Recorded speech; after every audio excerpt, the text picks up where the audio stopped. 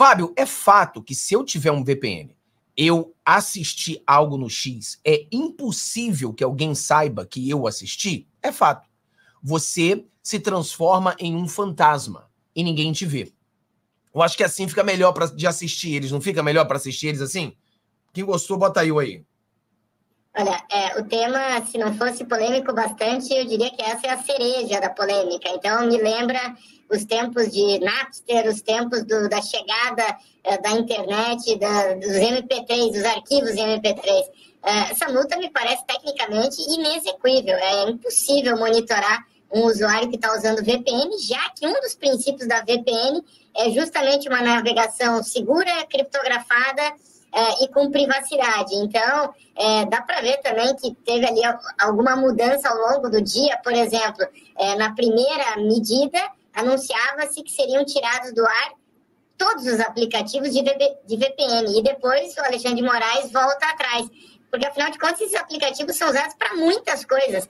Tem várias empresas globais presentes no Brasil que usam VPN para suas comunicações entre executivos, só para citar um dos exemplos. Então, primeiro, bloquear as VPNs tecnicamente não faz sentido algum. E essa multa, ela me parece que é muito mais para tentar assustar os usuários, para que eles não acessem o X em outros países usando VPN, mas tecnicamente ela não faz sentido algum. Cara, você vê, imagina você, pessoal, a Globo Lixo falando isso. A Globo Lixo. Elas levam um especialista e o especialista fala: VPN não tem como o ditador saber quem está usando.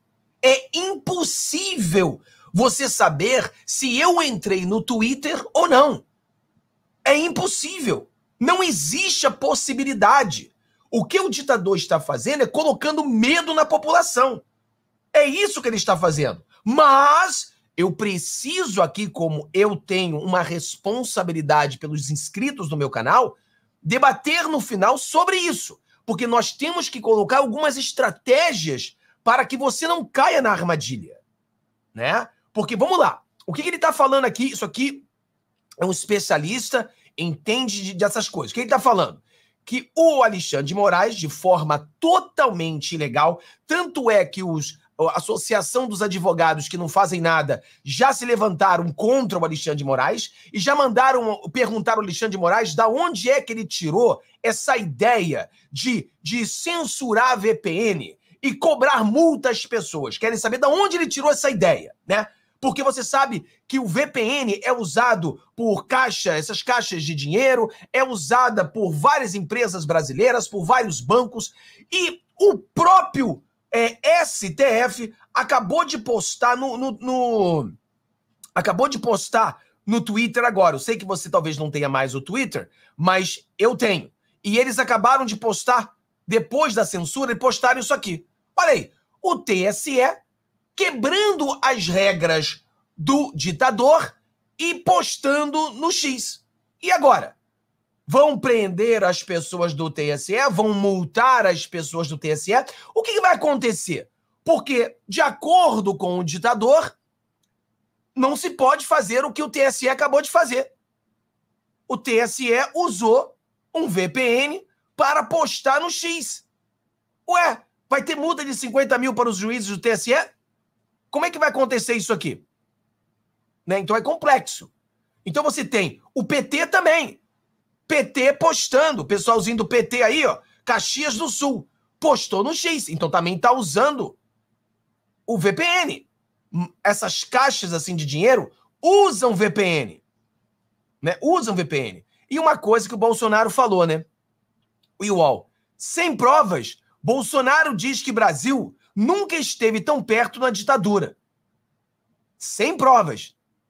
Eu acho que isso aqui envelheceu ruim, né? Sem provas. Bolsonaro sempre esteve certo. Sempre esteve certo. Então, o que acontece? Vamos tentar bater um papo sobre isso aqui. Pera aí, deixa eu tirar isso aqui. Vamos botar assim. Tem um outro vídeo aqui. Vamos fazer assim. Vamos botar outro vídeo primeiro e logo a gente entra nessa questão do Pix, junto do Pix, ó, do, do, do VPN junto com você. Vamos lá. é, ele também é, determina uma multa né, de 50 mil reais ao dia para quem incorrer em condutas no sentido de utilização de subterfúgios tecnológicos para a continuidade das comunicações. Isso vale para pessoas físicas também, imagino. Não só empresas, mas imagino pessoas físicas que, de alguma maneira, tentarem fazer esse tipo de acesso. Então, aqui, você vê, não sei se você entendeu bem a pergunta, porque a gente botou um negócio para Skies, a Globo Lixo. Ela está dizendo o seguinte: que o ditador ele vai dar uma multa de 50 mil reais diária para qualquer pessoa que driblar o sistema da ditadura para poder ter acesso ao X. Então, qualquer pessoa que consiga ter acesso ao X de uma forma blindando, blindando a ditadura, ele vai ter uma multa. Em outras palavras, se você dá, fizer um download de um VPN e você entrar no X, você estará, de acordo com a cabeça do ditador, cometendo um crime e você terá uma multa de 50 mil reais. É isso que ele está falando, tá bom? É isso que a Xandoca falou. Vamos entender aplicação de multa diária de 50 mil às pessoas naturais e jurídicas que incorrerem em condutas no sentido da utilização de subterfúgios tecnológicos para a continuidade das comunicações ocorridas pelo ex.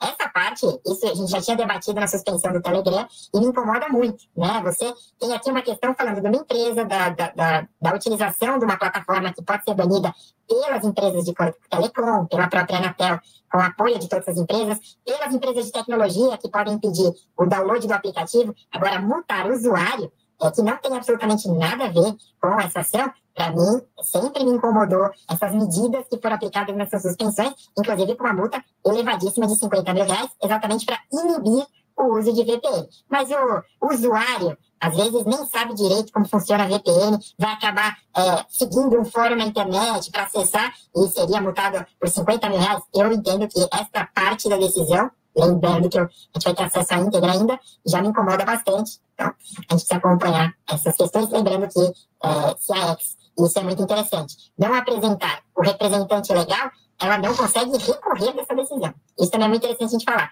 Como esta ação e essa decisão judicial vem envolvendo exatamente, principalmente a empresa X, ela precisaria de constituir advogado para recorrer e aí, consequentemente, ela estaria é, um representante legal. Por isso que a gente tem que para acontecer a partir de agora. E triste, muito triste a gente ver a plataforma sendo é, suspensa, que chegou nesse momento da necessidade de suspensão da plataforma. Então, aqui você vê, pessoal, mais um especialista na Globo, mais um, dizendo que o Alexandre de Moraes, né, o ditador, ele está rasgando a lei. E ele fala, né? Ele não entra no argumento de simplesmente banir a rede social, mas ele diz que é um absurdo querer multar uma pessoa por ela ter acesso ao VPN, né? O problema é que muitas pessoas dão mole, ou seja, você vai no X e você faz um comentário. Se você faz um comentário, por exemplo, eu sei que o TSE estava usando o VPN. Por que, que o Fábio sabe disso? Porque eles fizeram um comentário. Então eu sei que eles fizeram. Então, a pessoa pode ter acesso ao X, mas se ela for esperta, ela não faria nenhum comentário. Por exemplo, se vocês têm um VPN e vocês entram no X, não comente, não compartilhe, simplesmente assista o conteúdo. Porque se você comentar, se você compartilhar, estará provado que você usou um VPN para entrar no X. Então as pessoas têm que ter muito cuidado. Não é momento da gente usar o fígado. É momento da gente também usar a estratégia. Como poderemos fazer para que é, é, venhamos continuar recebendo essas informações? Como falei para você, estou bolando alguns planos aí para gente, estratégico, para isso. Então, eu acho que você tem que ter cautela nesse momento. E você, por exemplo, você pode escolher, Fábio, vou pegar o VPN, eu tô cagando. Não é dessa forma. Não, se você tá nesse, aí você tá usando o fígado. Não é dessa forma. Você tem que ter cuidado. Por exemplo, eu nos Estados Unidos eu posso criar um canal, eu posso fazer no nosso canal, trazer todas as matérias do, do X para você. Então você, tecnicamente, você não precisa ter o X. Eu posso mostrar a vocês todas as matérias do X. As pessoas que vivem no exterior, eles podem fazer um corte e, e mandar para vocês um screenshot de todas as matérias interessantes que tem no X. Então, existem outras formas da gente continuar sendo informado. Então, você está perto do fogo, cuidado para não se queimar. Tenha cuidado. Fábio, mas isso é contra a lei. E quando é que ele está obedecendo a lei? No dia 8, nós tivemos pessoas sendo presas que estavam andando ali em Brasília. Foi preso. Então, a minha intenção é que você não caia no mesmo buraco. Então, paciência. Calma, não tome decisões precipitadas. Vamos ter, entendeu? Haja com estratégia. Talvez, ah, Fábio, eu tô pe... calma, relaxa. Relaxa. Por quê? A gente tem que pensar estrategicamente como é reverter essa situação. Então não adianta todo mundo ficar correndo para um lado para o outro, começar a chutar balde, dizer que eu faço, eu sou aquilo, eu sou. Não, não, isso aí não vai vencer nenhuma batalha. Bravata não vai. Muitas pessoas que ficam fazendo bravata acabam dentro da cadeia. Então para com esse negócio de bravata, relaxa, vamos buscar uma forma estratégica como lidar com o problema. Você tem que. Cara, isso é até bíblico. Isso é bíblico, tá? Muitas das vezes a gente vê que os filhos das trevas são mais astutos. Então a gente precisa agir com inteligência, sabedoria, estratégia. Eu sempre falei para vocês esse negócio de política é estratégico. É estratégia em cima de estratégia. Então, existem outras formas. E eu estou buscando uma forma aqui para explicar para você. Amanhã eu vou ter uma, uma novidade para vocês que você vai entender. Mas existem várias formas. Então, então, Fábio, vou relaxar. Isso, relaxa não é para você ficar correndo. E cuidado. Ah, Fábio, eu tô cagando, eu vou pegar o VPN mesmo. Se você fizer isso, seja inteligente. Não vá botar vídeo. Você, o, o, se o cara quer ficar um fantasma, que ninguém veja ele, então eu falei para você, se você tiver um, um VPN, ninguém consegue te encontrar. Ninguém sabe quem você é. Você é um fantasma, tá? Ponto. Agora, para que você continue com o fantasma, você terá que agir como fantasma. Ou seja, você pode assistir um vídeo, mas você não pode compartilhar aquele vídeo. Você pode assistir uma notícia, mas você não pode comentar naquela notícia. Você pode assistir qualquer coisa, mas você não pode compartilhar aquela coisa. Porque no momento que você compartilha aquilo ali, aí deu ruim para você. Entendeu? Deu ruim para você. Então vamos entender estrategicamente como usar a ferramenta como usar a ferramenta, tá bom? Mas, Fábio, e se eu for preso qualquer dia, eles olharam no meu celular e ver que eu tenho e eu usei? Ó, essa probabilidade é muito pequena de acontecer, né? Entendeu? Ah, Fábio, se milhões de brasileiros fizer, vai prender todo mundo? Não vai, mas o problema é que ele não vai atrás de milhões, vai atrás de uma pessoa. Entendeu? Vai atrás de uma pessoa. É a mesma coisa que eu falei. Assine o pedido do impeachment, assine. Mas não faça vídeo atacando A ou B. Só assina, seja discreto. Isso é momento da gente ser discreto, estratégico. Tá na sombra, anda na sombra. Entendeu? Use com sabedoria. Ah, Fábio, eu já tenho. Beleza, já tem? Não compartilhe, não comente, não, não poste nada. Seja a pessoa que só observa e tem informação. Entendeu? É assim que tem que ser feito. E as pessoas que estão fora do Brasil poderão jogar essas informações para você. Então é isso que a gente tem que entender aqui, para você entender a jogada que a gente precisa fazer. Olha só, isso aqui, esse aqui é o, o Luciano Huck. O Luciano Huck, eu também tirei aqui o para não dar problema. O Luciano Huck, ele também, cara, falou uma coisa aqui interessante. Olha isso aí, pessoal. Vamos lá. Olha isso aí.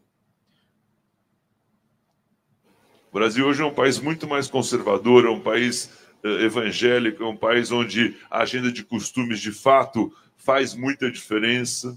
Então a gente tem que respeitar isso. Quem pensa diferente da gente não é nosso inimigo.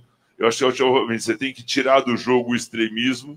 Então, tanto de um lado quanto de outro, acho que isso não agrega ao debate. Agora, você pensar diferente, eu acho que é importante. Acho que a parte da política é vocês ter a, a, a, a paciência, a sabedoria de ouvir, que é fundamental, poder mudar de opinião quando é necessário, E isso se qualifica o debate à democracia. Então, é, é, estava falando isso com a minha mãe, não adianta você achar que é um absurdo fulano de tal está crescendo tanto nas pesquisas por causa disso daqui. Tem que respeitar a opinião das pessoas. O Brasil está diferente. E a gente precisa entender essas mudanças, absorvê-las e entender como é que isso pode, de alguma forma, nos fazer unidos em algum momento e não cada vez mais polarizado e cada vez mais uh, uh, violento de lado a lado quando alguém pensa diferente.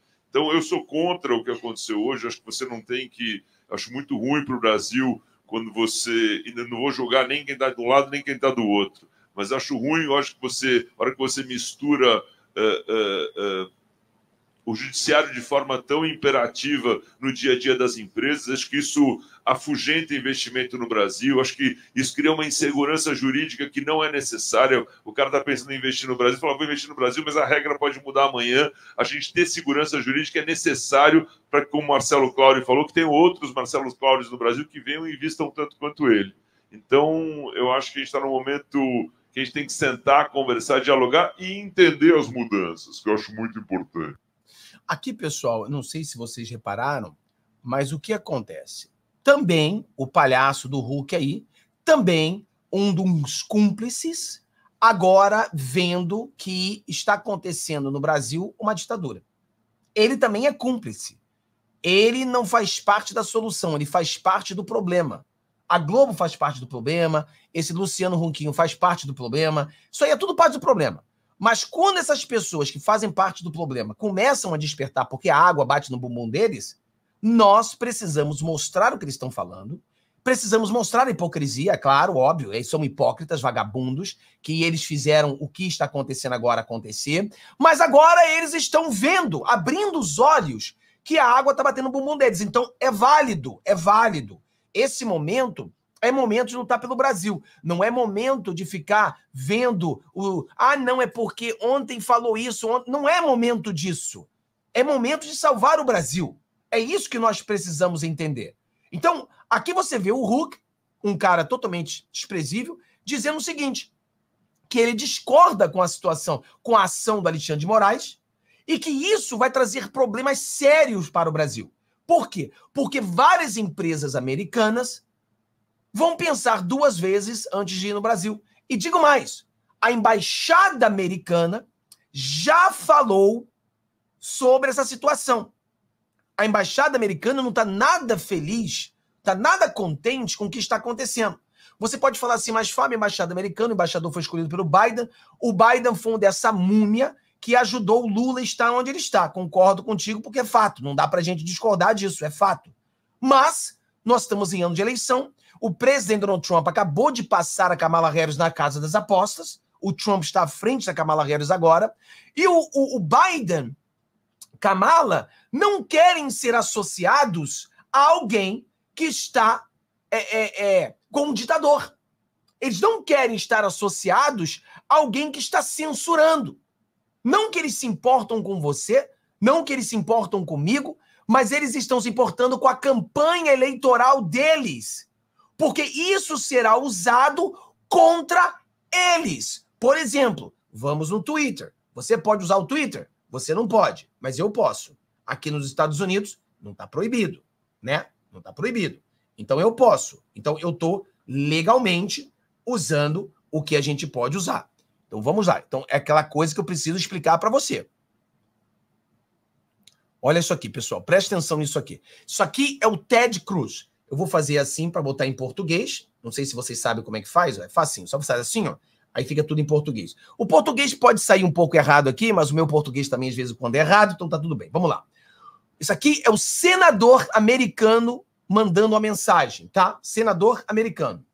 O Brasil está proibindo o X por um motivo, para suprimir a liberdade de expressão e pensamento. Sem surpresa, Lula apoia essa decisão, porque ele também busca proibir a liberdade de expressão e pensamento. Biden cortejou Lula, comemorou sua eleição e o chamou de amigo pessoal.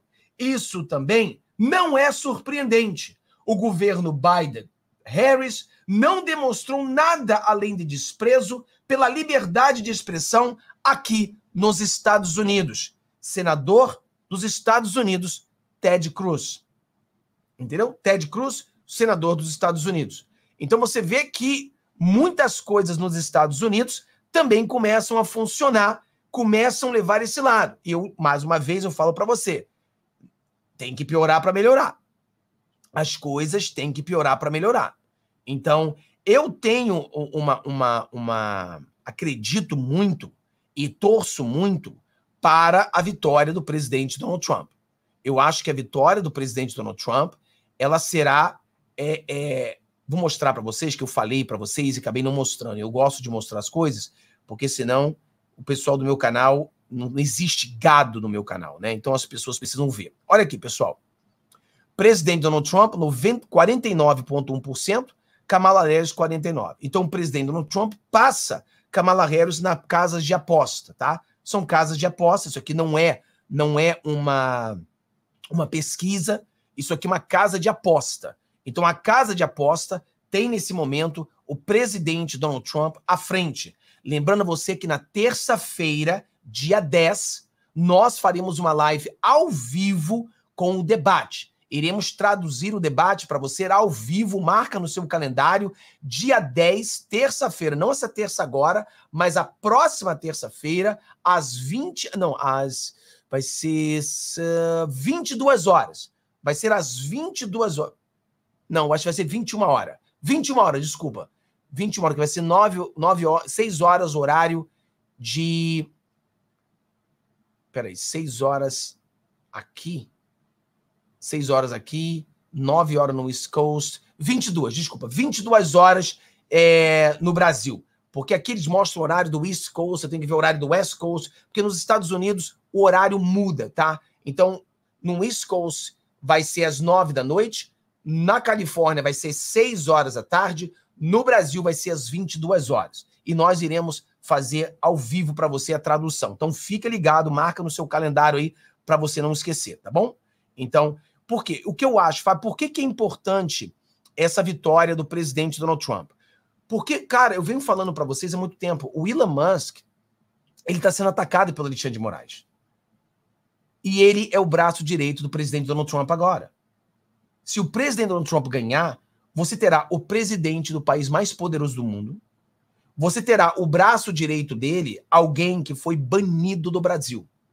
Alguém que foi atacado pelo ditador brasileiro. Alguém que foi. Rege... Cara, alguém que foi roubado. Ele está sendo roubado. Então, essa pessoa será o braço direito do presidente Donald Trump se ele ganhar as eleições. Então, você não acha que algo aconteceria? Você acha que ele vai ficar quieto? Você acha que o Trump não iria apoiá-lo? E, e, olha que o Trump tem um, um carinho muito grande pelo Bolsonaro. O Trump tem um carinho muito grande pelo Brasil. Lembrando você, quando houve aquele acidente do avião, a primeira pessoa nos Estados Unidos a mandar um Twitter foi o presidente Donald Trump, falando: Eu estou com vocês, brasileiros. É, foi o primeiro a mandar uma mensagem. Então nós precisamos acreditar que sim, que se o presidente Donald Trump ganhar, as coisas vão melhorar para o Brasil. Então isso aí é bem lógico, né? Não precisa nem você ser um analista para você ver isso. É uma coisa bem lógica, é óbvio. O cara que está levando porrada todo dia, o cara que está sendo roubado, o cara que está sendo expulso do Brasil, agora é braço direito do presidente Donald Trump. Aí muda o embaixador brasileiro é, americano no Brasil, muda esse embaixador, bota alguém ali que seja de, de, de força mesmo, e aí, meu amigo, o pau vai quebrar. Aí eu quero ver o que, que vai acontecer. Então, são várias coisas que podem acontecer, tá? Então, não fique preso a uma coisa só. Vamos lá. Então, a pergunta que muitas pessoas estão fazendo aqui, Fábio, então é para que eu é, faça o VPN ou não? Vamos lá. Primeiro que vocês não são gados. Cada um de você faz o que você quiser da sua vida. Vocês são pessoas independentes e tudo que você fizer no final do dia, você tem que se responsabilizar pelos seus atos. A responsabilidade é sua. Certo? Certo. Falando isso, eu acho que você deveria pensar duas vezes nesse momento. Pense duas vezes. Nós vamos trazer estratégias mais interessantes para você do que um VPN nesse momento. O VPN, o Alexandre de Moraes voltou atrás para que o VPN não seja bloqueado no Brasil. Mas ele não voltou atrás na multa de 50 mil reais para pessoas que forem pegues usando VPN para acessar o X. Essas pessoas terão multa de 50 mil reais diários. Então, você fala assim, mas Fábio, eu não estou quebrando a lei. Mas o Alexandre de Moraes não está preocupado se você está quebrando a lei. O Alexandre de Moraes está preocupado de pegar você e fazer você de exemplo. Então, o que, que você faz? Se eu. Aí já sou eu, eu. Se eu sou você, eu não faço nada de VPN agora. Eu dou uma esperada, vamos ver como é que as coisas vão. Não vou me precipitar. Final do dia, a minha preocupação com os inscritos do canal. Então, nesse momento, eu digo: se eu fosse você, não faria nada agora. Deixa. Já, você quer saber o que está acontecendo no Twitter? Eu trago para você essas matérias. Eu leio para você essas matérias. Eu vou ser a ponte para levar a informação para você. E para que você seja blindado. Eu vou blindar você. Então o que, que você faz? Você não precisa fazer isso. Não precisa, você não precisa se arriscar. Porque eu vou blindar você. Você vai estar blindado com o nosso trabalho. Então o que, que você faz? Relaxa, não toma uma atitude precipitada, porque a gente não sabe, o cara é um psicopata. A gente não tem dúvida que o cara é um psicopata. Uma, menina que pintou, perdeu mané numa estátua, pegou a cadeia, vai pegar a cadeia de 15, 17 anos. Então, o cara é um psicopata. Então você não pode prever o que um psicopata vai fazer. Mas não vai poder pegar todo mundo. E se pegar você? Esse é o problema. Ah, vai, você é um frouxo. Tá bom, então eu sou frouxo. Tá? Eu sou frouxo, sou covarde, sou... Pode, pode xingar.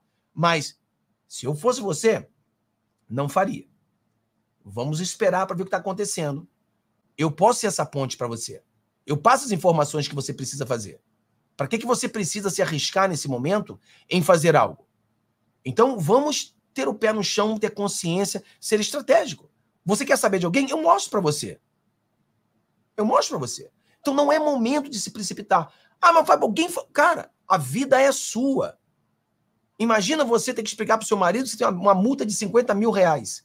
Ou imagina você, marido, ter que explicar à sua esposa que tem uma multa de 50 mil reais. Uma multa de 50 mil reais porque você fez algo que é totalmente legal, mas o ditador falou que é ilegal. Todo esse conflito é, entre é, Alexandre Moraes e Elon Musk tem a sua origem na derrubada de perfis por Alexandre de Moraes.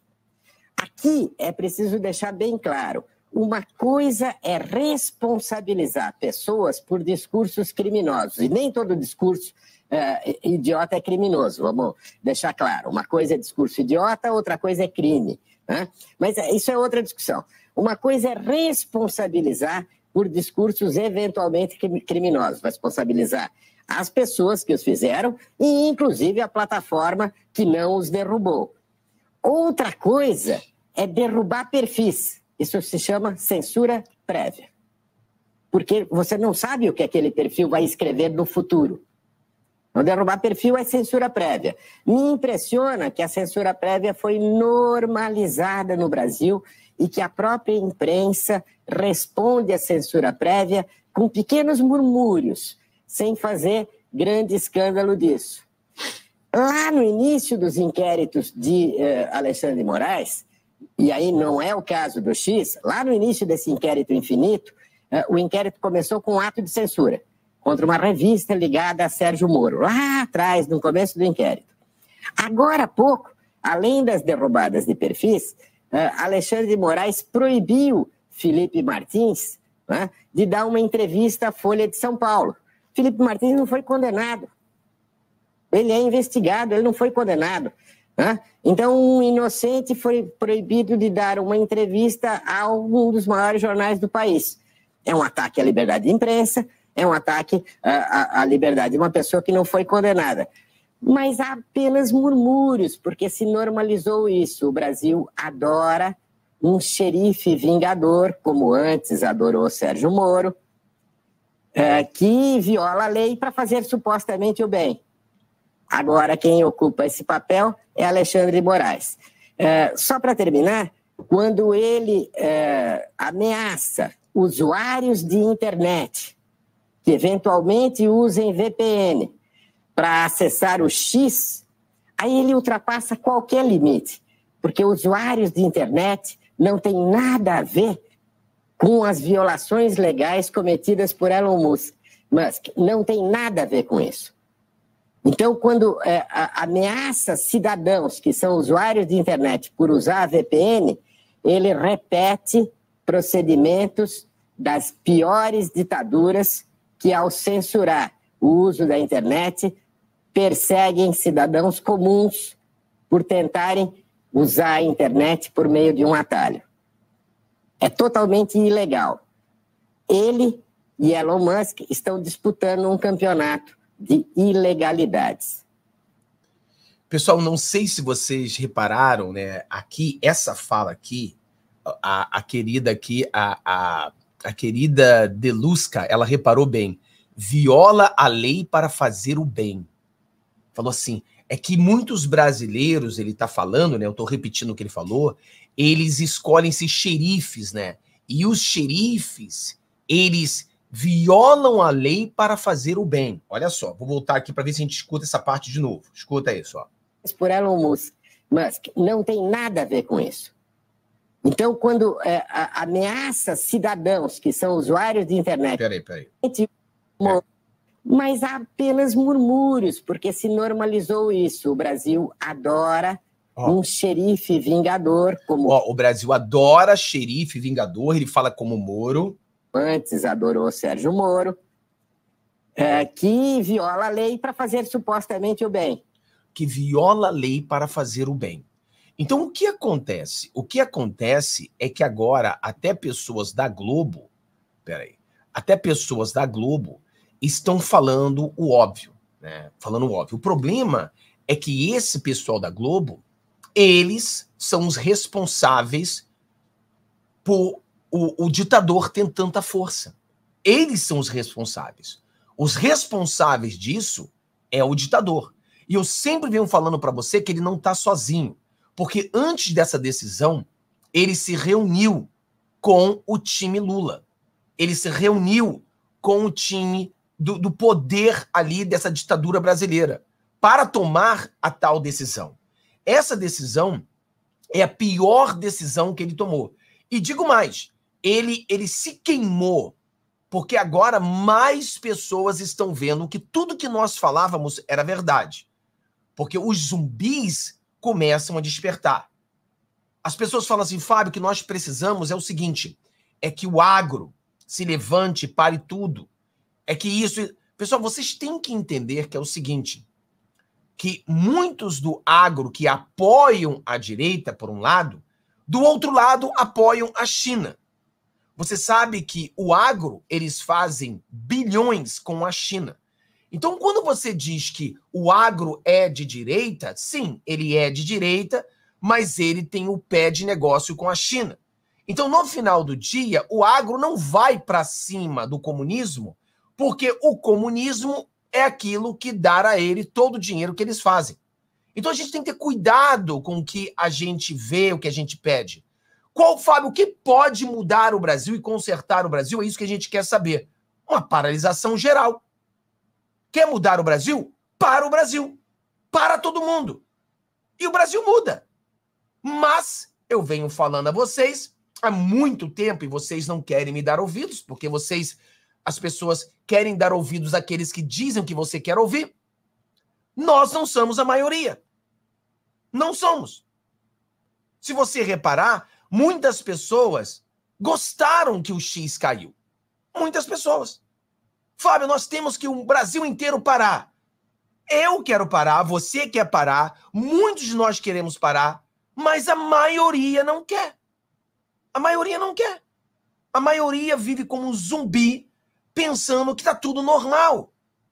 A vida deles continua. Eles vivem na, na, na uma, uma vida medíocre, e eles continuam vivendo assim. Se nós. Ah, Fábio, olha só, por exemplo, na Venezuela. O povo todo na rua. Sim, demorou 25 anos para os zumbis despertarem e irem às ruas. Hoje, a Marina Corina tem a maioria e eles vão às ruas e a grande maioria vai às ruas. E mesmo assim, eles estão tendo muita dificuldade, por quê? Porque na Venezuela já passou da linha de retorno. Eu sempre expliquei para você: o Brasil caminha para uma linha que não tem mais volta. Se o Brasil passar essa linha, acabou. Apaga a luz e vaza. Não tem mais jeito. A Venezuela passou essa linha. A Venezuela, para que o governo venezuelano mude, é uma guerra civil, é Black Waters, é algo desse nível. Não tem como mudar a Venezuela simplesmente indo à rua.